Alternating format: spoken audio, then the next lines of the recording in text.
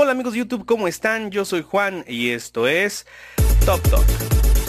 Comencemos. En esta ocasión les voy a enseñar de manera fácil, rápida y sencilla, como lo dice el mismo título de nuestra tabla, cómo calcular totales al instante en Excel.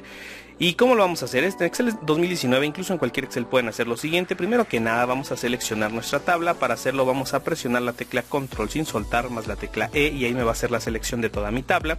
Posteriormente y para poder hacer el cálculo de manera fácil, rápida y sencilla presionaremos la tecla Alt sin soltar más la tecla Shift más la tecla 0. Y en ese momento así de fácil, rápido, sencillo al instante me hace los cálculos precisamente de todos los totales que requerimos. Bueno amigos de YouTube, eso ha sido todo por el día de hoy. Espero que les haya gustado, que lo hayan disfrutado, que les sirva esta información en su vivir cotidiano, en todas las cosas que vayan a hacer. Eh, si ustedes gustan, pueden regalarme un like. Si así lo hacen, también si gustan, pueden suscribirse al canal. No olviden, si se suscriben al canal, activar la campanita de notificaciones para que sigan recibiendo más videos como este. Y nos vemos en un próximo video. Hasta pronto.